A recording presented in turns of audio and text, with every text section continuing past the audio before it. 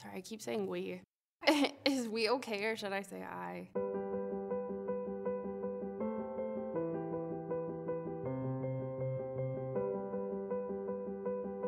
I'll never forget when we were out on the street when we first bought this building and standing out there with the contractor and we look up and he looks up and he says, Are, you sure about this? You know, because the building was starting to fall apart and I said, Yeah, I'm, I'm, I'm very sure.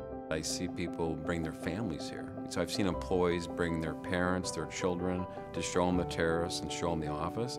And that's really telling too, that people are proud of our space and they're proud of where they work and, and they're sort of amazed by what they see up here when they get up here, like, wow, you know, EUA built this for me as an employee. I'm most proud of the, the culture here.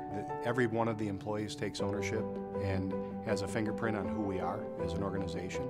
I have so many friends from Chicago that I'm always like, if you want to move up to Milwaukee, like, let me know. It's so employee focused, more than I've ever experienced in any job that I've worked at. That's really what we're trying to accomplish here to get people excited about not only what they do, but where they do it. The employee experience is, is absolutely critical.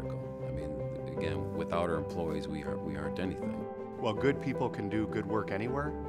If we really want to allow people to be at their best, we need to create an environment that supports that.